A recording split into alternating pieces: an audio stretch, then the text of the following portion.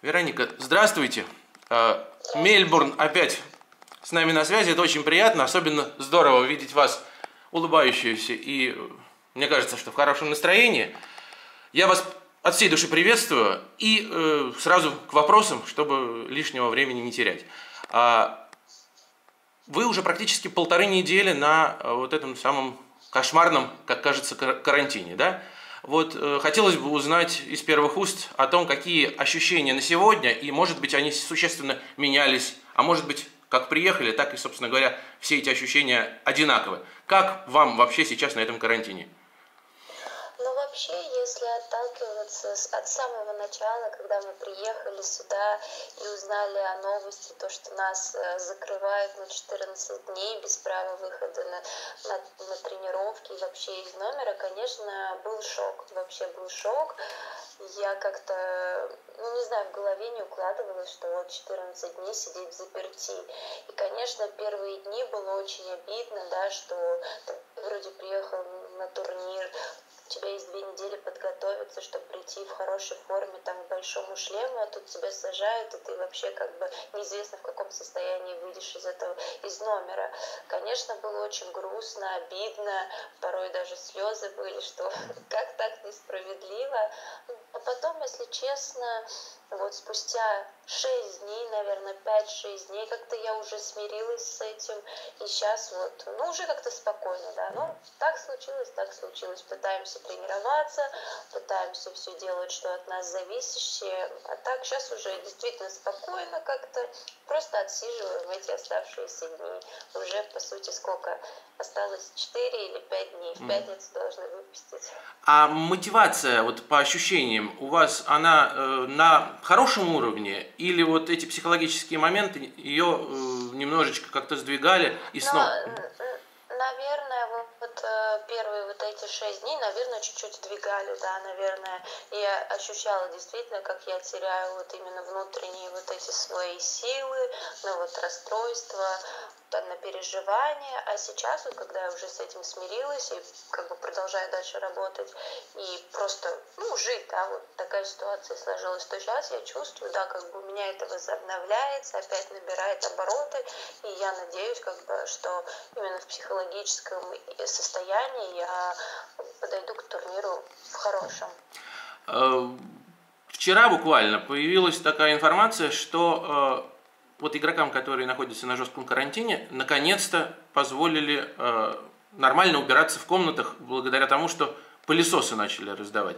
Могли бы вы эту немножко ситуацию раскрыть, потому как сам, мне кажется, механизм дать пылесос там и неделю назад, наверное, ну разницы-то, в общем-то, никакой, но на этом сделан акцент, что вчера только это появилось. А, но вообще, если честно, да, я видела по социальным сетям, что многим игрокам принесли в номер пылесосы, но у меня, если честно, до сих пор нет пылесоса в номере. Я постараюсь так вытирать пыль, mm-hmm. менять постельное белье, просить, просить чистые полотенца, там как-то мыть полы. А, почему, как они описывают эту ситуацию, что могут нам давать те пылесосы, которыми они пользуются, вот здесь вот уборщицы, ну, в нормальный период жизни. Они специально эти пылесосы новые откуда-то заказывают. Они должны э, внизу их обработать, подтвердить доставку, что нам это в номер можно прислать. В общем, это такой mm-hmm. долгий процесс, что у нас столько много игроков на карантине, все просят пылесосы, и у них просто не хватает времени и возможности все это быстро очень сделать, поэтому так долго занимает вот эти вот процессы получить что-то там, тот же велосипед, тот же пылесос, поэтому ждем, как принесут. Ну, я так понимаю, что, может быть, и не успеют, да, принести вынести до того да, момента? Может, уже не успеет. Ну, вас это сильно напрягает? Или вот э, то, что вот вы делаете все своими руками, то, что, ну, и с подручными средствами, нормально, да? Ну, да, все нормально, как бы, конечно, с пылесосом было бы удобнее, там, все быстренько убрать, но и руками тоже нормально. А, знаете, я так сейчас подумал, что а, изначально мы планировали пообщаться накануне, а вот э, за эти сутки э, много достаточно новостей. Разного уровня, то есть разного там всякого, в том числе вот и про пылесос. В том числе э, вчера днем по Москве, соответственно, ближе к вечеру по австралийскому времени, а, появилась информация об э, измененном уже календаре, уже подкорректированном на вот эти ближайшие э, дни, э, на ближайшую неделю. Вот вас уже поставили в известность, что вы, как человек, который находился на вот этом жестком карантине, что вы в обязательном порядке будете участвовать, ну, имеете возможность участвовать в турнире, который вот еще вот только-только организовался, третий вот этот вот самый. Так ли это? Вот расскажите поподробнее вообще вот эту всю ситуацию, насколько это возможно. Да, нам вот вчера точно вроде бы как mm-hmm. а, и прислали на e-mail всю информацию о том, что нам, игрокам, именно девочкам, про мальчиков я вообще не говорю, именно девочкам, те, кто сидели на жестком карантине без права теннисных тренировок, им отдельно организовывают турнир, а, где будет сетка 28 человек, потому что э, одиночных игроков на карантине сидит 27 человек и три парных игрока. И вот эти э, три девочки могут записаться на турнир уже здесь, там, завтра или послезавтра, когда там, не знаю, и кого-то из них поставят к нам в сетку. И вот мы между собой будем играть турнир, он будет такой же WTA 500, как и mm-hmm. два других турнира, просто мы будем соревноваться с людьми, которые были в таких же равных условиях, как, как и я там. А вы знаете, э, какой номер посева, грубо говоря, у вас будет уже, вот, э, учитывая, что, наверное, приблизительный как бы состав тех, кто на жестком карантине, вам известен? Вот, на, на первом турнире? Вот да, вот это 28 сетка. Вообще, может быть, вы со второго круга а, даже начнете, нет? Нет, нет, я, я, я, если честно, я даже не знаю, мне кажется, я, наверное, там не буду сейная, там, mm-hmm. в принципе, должно быть только 8 сейных, mm-hmm. а, и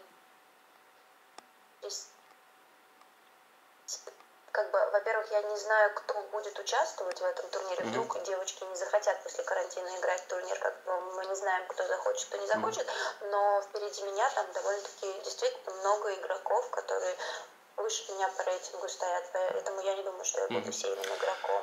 Что касается именно Австралии, то да, там, скорее всего, что я буду сильным. Ну, Но вот, во-первых, mm-hmm. Нет, судя по всему, что это уже даже прям официально, насколько это, конечно, возможно, что вы в 32 этих самых сейных э, есть.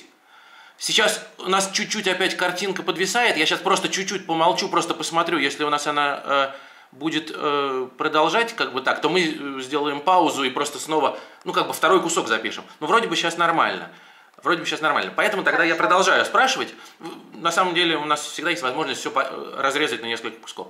А, я чуть-чуть хочу вернуться к нашему разговору в Москве, когда а, впереди был турнир в Абу-Даби, и а, вы достаточно так уверенно и конкретно, четко, не особо даже задумываясь, говорили о том, что вы поедете туда с целью побеждать. И, между прочим, в общем, все получилось, э, ну, по сути, так и получилось. Все было очень так э, конкретно, и э, никаких вопросов тут не возникает. Как, я хочу такой же вопрос э, задать не потому, что э, вот мне нужен, э, может быть, какой-то конкретный, упаси Боже, ответ, да? Но мне очень хочется понять психологически а вот момент с учетом всех нюансов. Вот ваш тренировочный процесс еще в Москве, потом э, в Объединенных Арабских Эмиратах, и вот такой настрой. Как вы рассматриваете э, предстоящий турнир сейчас, вот на сегодняшний день, после всех, опять же, вот этих нюансов?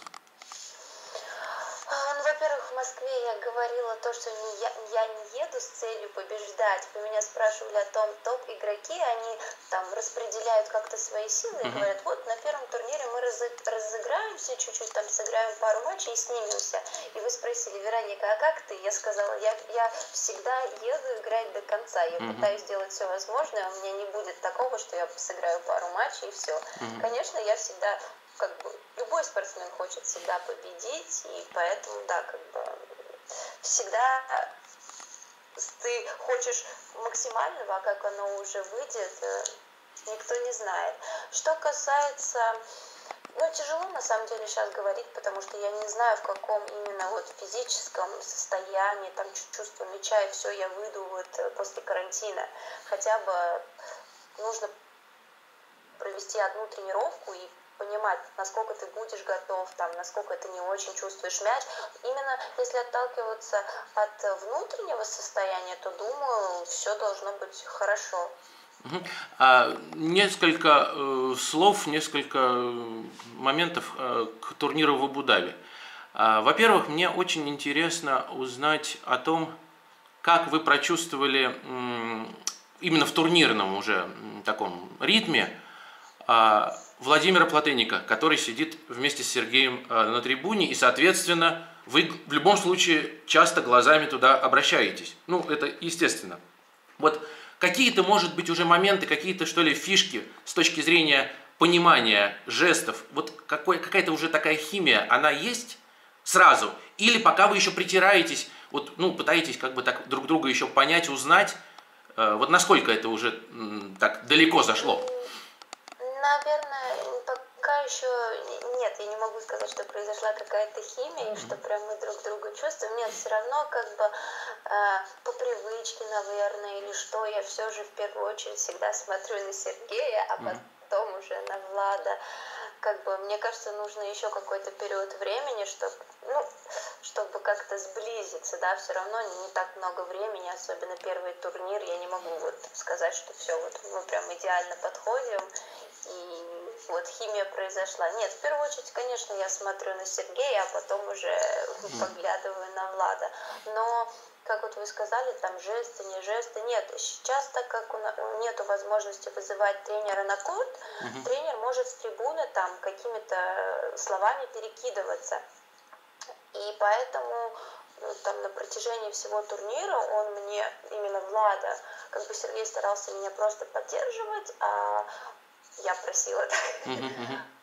А уже Влада там какие-то именно с точки зрения именно вот тренера что-то пытался, ну там ближе подойди в корт или что-то какими-то вот словами мне говорил, и я именно их хватала и пыталась их, ими воспользоваться как можно скорее, это действительно приносило результат, как бы, что хорошо, вот, что у меня получалось именно услышать и исполнить.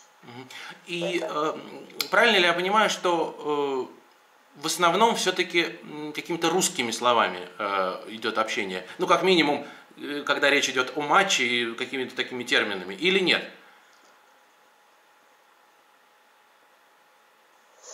А, нет, в принципе, как бы там было какие очень такие базовые примитивные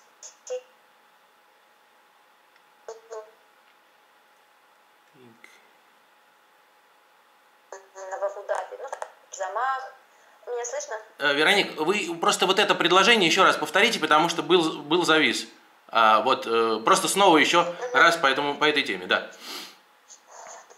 Я говорю, да, в принципе, вот на турнире в Абу-Даби не было каких-то там закрепленных фраз. Мне в целом говорили какие-то примитивные вещи. Подойди чуть-чуть ближе в корт, сделай короче замах. Ну так, все на базовом уровне. Мы уже объем работы.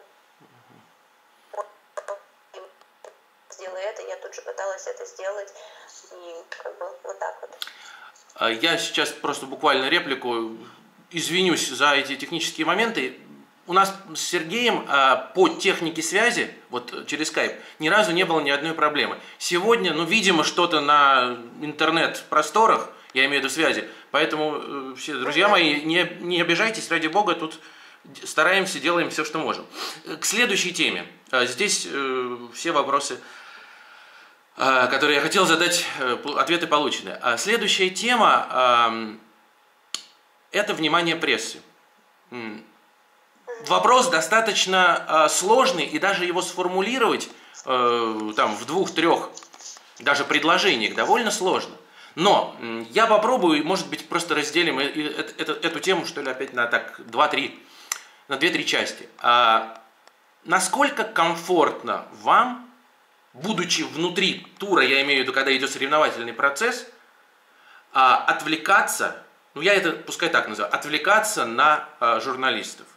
А, может ли это мешать или наоборот, это скорее помогает – вот ваше отношение и вот э, зона комфорта, она какова в взаимоотношениях, вот в контактах с прессой, когда так или иначе э, вас, ну, дергают, ну, все-таки дергают. Я понимаю, что профессиональный спортсмен там должен там что-то, да, но все-таки хочется услышать вот как вы это чувствуете как человек. Ну, вот я буду говорить конкретно, что касается меня. Когда вот я, именно когда я играю турнир, э, да, там после матча есть какие-то обязательные интервью, да, как бы мы на них готовы, ну, я, я на них готова, я спокойно к этому отношусь, там неважно, сколько это времени занимает, ну, обычно там максимум минут 20-30 и все.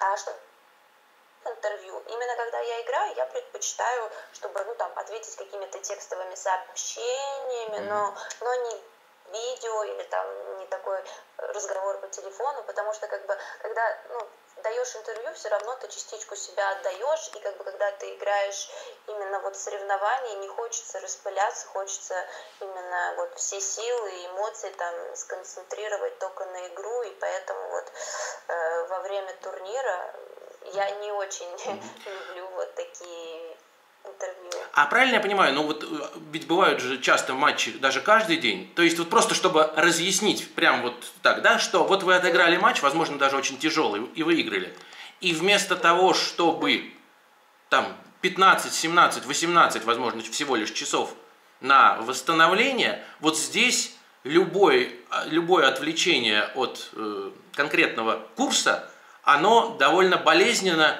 ну, может сказаться негативно на именно психологии. То есть физика тут вряд ли пострадает, а психологически можно. Правильно ли это или неправильно? Вот просто... Ну, ну, во-первых, как я сказала, после матча это в основном бывает обязательно интервью, ты не имеешь права на mm-hmm. них не ходить. Поэтому, как бы, ну, да, мне кажется, когда это все начинается, и это тебе впервые, то да, это забирает какие-то силы и может повлиять на результат следующего матча. Но сейчас, вот, допустим, если говорить конкретно про этот год, да, я вот на, в Абу-Даби там практически после каждого матча давала интервью, то, не знаю, как-то я уже была более спокойна, размеренно, и меня уже вот ну, никакие внутренние силы не забирали эти интервью там после матчей. Поэтому это все же, все же зависит, мне кажется, ну, тоже опыт. Когда только начинается это все, да, там, когда тебе берут, берут интервью, то ты опустошаешься. А когда ну, это уже привычно, ты, ты уже более спокойно реагируешь на это. Я хочу еще вспомнить один момент из нашего разговора московского, а даже этот момент, но ну, мне кажется, это самая яркая часть, э, когда э, Вероника была корреспондентом. Вот это составляющая. А мне показалось, э, что это было очень естественно. Вот то есть то, что вы в качестве корреспондента вот продемонстрировали, пусть это было несколько всего лишь минут, мне показалось, это очень вот естественно. Я другим словом даже не хочу никак ни, ничего говорить. Это было, вот, на мой взгляд, очень здорово. А есть ли у вас желание в дальнейшем, в будущем, я имею в виду не после карьеры, а я говорю там через неделю, через а каким-либо образом повторить такое, что-то похожее, когда вы задаете вопрос, ну, скажем, например, Анне Блинковой, своей партнерше по паре, условно. Там еще кому, вот это вам э, в принципе как? Один раз в жизни сделали и все? Или э, в какой-то, скажем, прикол в этом для вас есть? Какой-то такой вот драйв в этом есть? Как вы на это смотрите? Ну, лично для меня это не вызывает такой восторг или mm-hmm. какой-то вот, что, как говорят, да, там это хобби у кого-то там ходите брать интервью. Нет, у меня лично так, ну, такого нет. Конечно, если мне понадобится, да, для каких-то там проектов или для чего-то, позадавать вопросы игрокам, ну, мне это не затруднит проблемы, я как бы спокойно, ну, чувствую себя, как сказать, в этой атмосфере. А так, чтобы я шла сама этим занималась для себя, я не, ну, не хотела бы этим заниматься. Ага, понятно. Ну, то есть, э, возможно, э, просто еще такой момент не наступил, мне просто именно понять, или это уже такая психологическая, что ли, такой путь, э, в принципе, на долгие-долгие годы, что вы, в принципе, вот эту ветвь, что ли, не рассматриваете, или это просто ну, как бы на сегодняшний день, на завтрашний, на ближайший такой вот период? Ну, это, это, наверное, все же на ближайшее mm-hmm. время. Конечно, может быть, потом что-то изменится, и у меня внутри что-то щелкнет, и я захочу mm-hmm. этим заниматься. Но пока что вот на ближайшее время я говорю mm-hmm. нет. Хорошо. А, перед тем, как а, я задам вам вопросы а, от нашей аудитории, а, остался еще один нюанс, который я все-таки хочу тоже а, озвучить потому что мне кажется, что все должно быть э, связано и последовательно. Э, каждый в своей, как говорится, степени это все может сделать. Я э, на данном этапе могу э, отталкиваться и какие-то параллели проводить между... Снова я как бы возвращаюсь к нашей беседе в Москве. А я тогда, э, собственно говоря, поднял вот эту тему, о которой э, дальше разговаривали вы, а, о заявлении, ну как заявление, о реплике Шамиля Анвяровича по поводу вот якобы недостаточной психологической э, подготовки. Вот э, на турнире в Абу-Даби вы хотя бы раз вспоминали каким-то, оп, он мне сказал такое, ну как бы про меня, а я вот вам как бы в ответ, вот, вот, вот реакция моя, вот я раз, раз, раз, было несколько сложных матчей, в которых получалось. Не было каких-то вот таких пере, вот, э, что ли, вот каких-то переплетений, воспоминаний о том, что вот он мне там показал на этот момент, внимание, что ли, обратите, а я вот сделала. Или нет?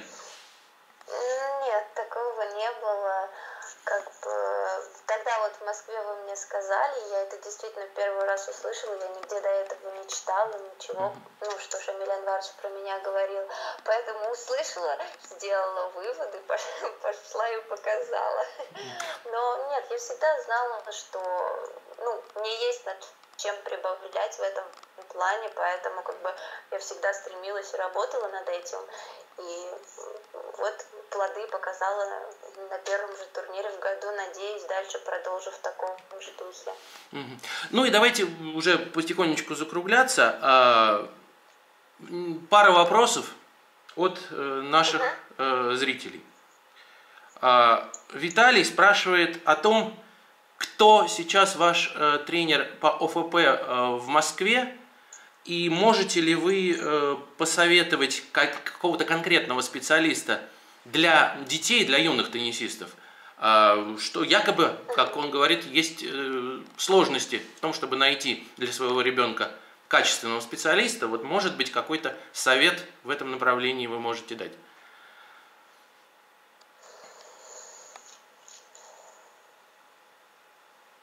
Так, у нас немножко зависло опять. Сейчас от, отвиснет. Да, вот сейчас нормально. Сейчас нормально, да. Ну, вопрос мой прозвучал полностью, услышите? Удалось? Да, да, Я, да, да, я услышала. Вот, сейчас, все, сейчас отвисло, да, можно тогда, да, ответить. Угу, сейчас опять подвисло. Сейчас отвиснет, я надеюсь, и... Сейчас напишешь, Сейчас, Вероника, у нас э, опять э, есть проблемы. Вот, а сейчас, по-моему, все нормально. Я, во всяком случае, вижу сейчас вас, э, что картинка живая.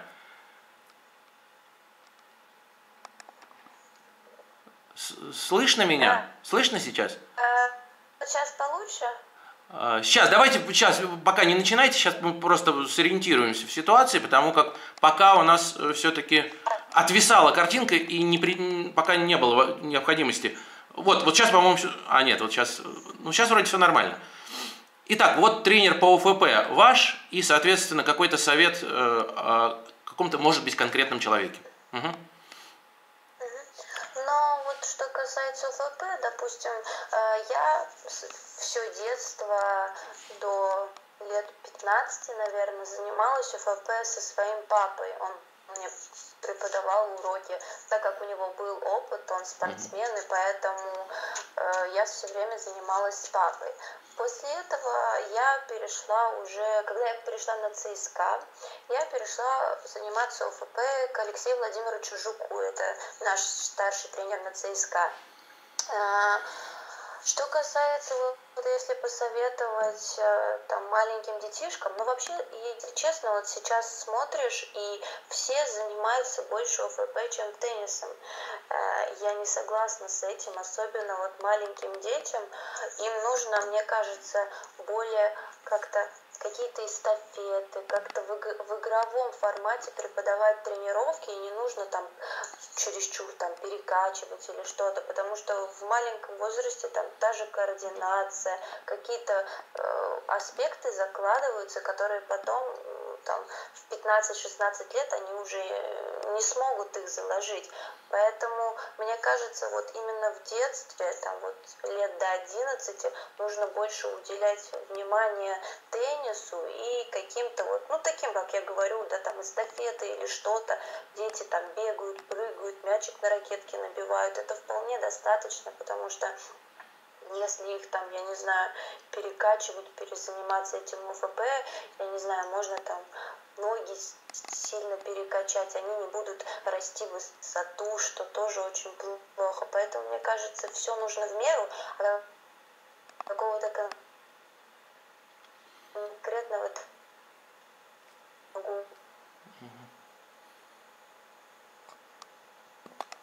Так, сейчас немного да, подвисло. Не знаю, просто, mm может быть, родители как-то могут там ну, ну, как минимум, а, я так понимаю, что не нужно делать акцент на том, чтобы а, искать в первую очередь вот а, э, такого специалиста. То есть сосредоточиться в первую очередь нужно немного на другом. Вот это резюме как минимум такое, да? Да, я считаю, что в первую очередь нужно сосредоточиться на теннисе. Если хорошего тренера по теннису найти, то тот же самый теннисный тренер может это УФП как-то внести в теннисную тренировку, какие-то там упражнения подобрать именно для конкретного вот ребеночка или там уже подростка. Поэтому в первую очередь нужно, я считаю, что хорошего теннисного тренера, а УФП уже потом. Еще один вопрос э, от э, Рустама. Он спрашивает о том, э, каковы ваши отношения, ну вот чисто житейские, чисто вот такие вот, да, вот семейные с сестрой, с отцом. А насколько внимательно вы следите за тем, как, ну насколько я могу следить, да, очень ведь уверенно Полина идет по юниорской, как бы, да, такой вот, по юниорскому теннису. А, понятно, что интерес, интересуется он э, смотрите ли вы хоккей, тоже по понятным причинам. Но я хочу еще немного добавить к этому вопросу. А, все прекрасно, конечно же, естественно, знают Эдуарда Кудерметова.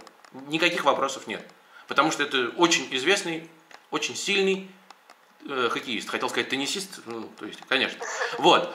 Но я хотел бы вас спросить э, о вашей маме.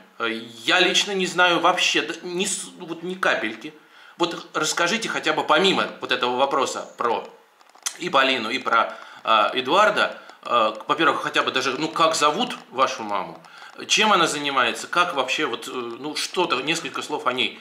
Потому что получается, что вот про папу много известно, про маму очень мало. Пожалуйста. Я, если честно, я половину вопроса не услышала. Я сейчас еще давайте повторю. А, да, нет, я все, что услышала, а, я отвечу, а если хорошо. я что-то не отвечу, вы мне еще раз Да, спросите. хорошо. Ну, вообще, так, я с последнего начну. А, что касается, ну, нашей мамы, угу. нашу маму зовут э, Ольга. Угу. Она, как бы, будем так говорить, как сказать, черный кардинал или что, она у нас все э, в семье рулит, э, сглаживает, как говорят, острые углы. Сейчас так как я не часто дома бываю, что там, когда вот, ну, понимаете, всегда, когда тренер папа или какой-то близкий человек, всегда очень тяжело быстро переключиться там на дочка и папа после тренировки, и также папа и тренер. Поэтому, когда там что-то не сложилось на тренировке, и кто-то друг на друга обижен, то приходит домой, мама одного ублажит, второго ублажит, mm-hmm. как-то все сразу по семейному, домашнему становится. В общем, мама занимает у нас такую роль, в общем, помогает нам, помогает своим детям выбиться в люди, будем так говорить, всю, всю, всю жизнь положила на детей. Теперь про папу. А, а, естественно, о ваших взаимоотношениях э, несколько слов. И плюс вот по вопросу, смотрите ли вы хоккей и насколько часто вы смотрите хоккей именно сейчас. Понятно, что, наверное, не каждый день, мягко говоря, но тем не менее. Да, но вот, если честно, в этом году вообще ни разу хоккей не смотрела. Но так вообще как бы сейчас, так как очень загруженный э, график турниров и всего, то очень редко получается посмотреть хоккей. Как бы сейчас не так часто. Раньше чаще смотрела, признаюсь, э, как бы, когда вот папа еще играл, помню, на каждой матче по возможности ходила. Потом даже когда папа закончил, и мы с ним, я помню, вдвоем ходили на и там был кубок Первого канала, и мы вот за... Он, я еще папе говорю, пап, вот как, как я, я вот захожу на стадион, именно вот уже когда на трибуны, на все заходишь, я говорю, прям вот эту вот атмосферу внутри так ощущаешь, так же, как вот в детстве, помню, такой драйв, адреналин, в общем, говорю, ощущение прям нахл...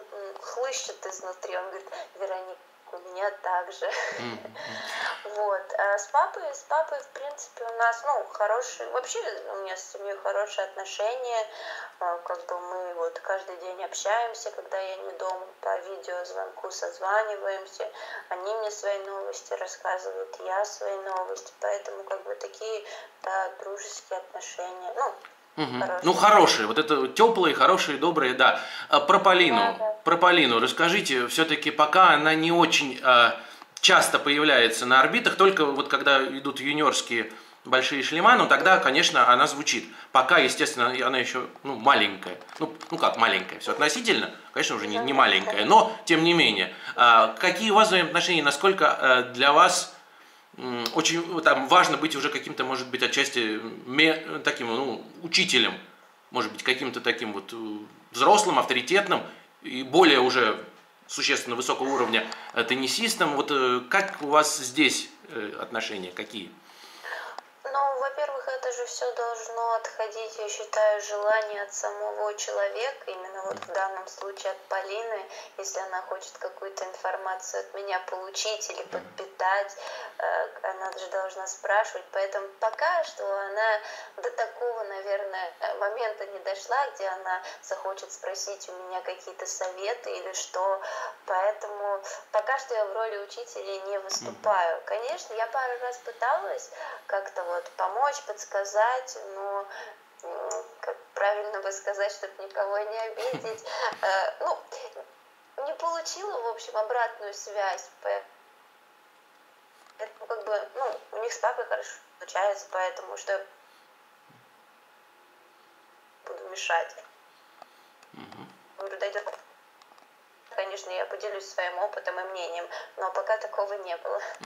А, вот э, как раз на фоне э, вот этой темы, э, пока, во всяком случае, вы для Полины еще авторитетом таким вот неприкасаемым в теннисе не стали. Но я вот уверен в том, что маленькая девочка-теннисистка Ева Кан, которая а, благодаря папе тоже иногда заглядывает на наш телеграм-канал «Теннисный рай», вот она занимается теннисом уже два года, причем занимается с э, Алексеем Кузнецовым, который брат Андрея Кузнецова.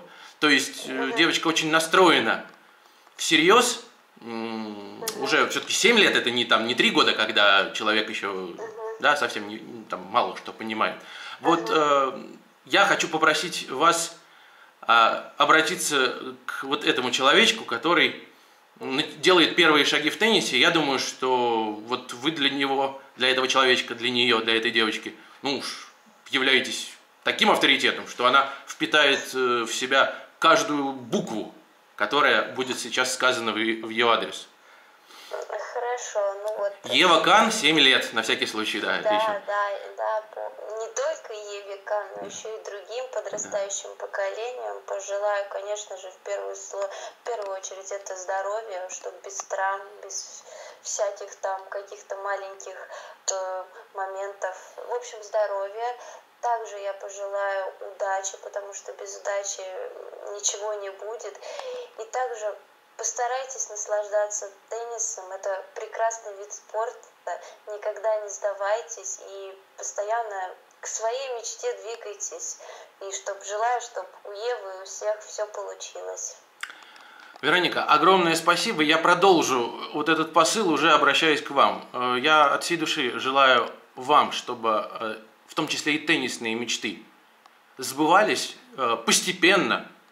Все должно идти своим чередом. Но чтобы был прогресс, вы ощущали себя человеком, который движется вперед и движется туда, куда вы наметили. Крепкого здоровья. Первый мельбурнский турнир – мы вас ни в коем случае, ни за что, не критиковать, ничего не будем. Но очень желаем, э, все, без исключения, все желают вам удачи и успеха. А э, на втором мельбурнском турнире, который уже более серьезный, ну, уже, как говорится, от всей души, от всего сердца, чтобы, дай бог, чтобы сложилось все максимально хорошо, максимально здорово, и будем очень-очень сильно за вас болеть и переживать. Спасибо большое. Все, тогда мы на этом завершаем. Счастливо. Мельбурн на связи на сегодня. Все, закончили.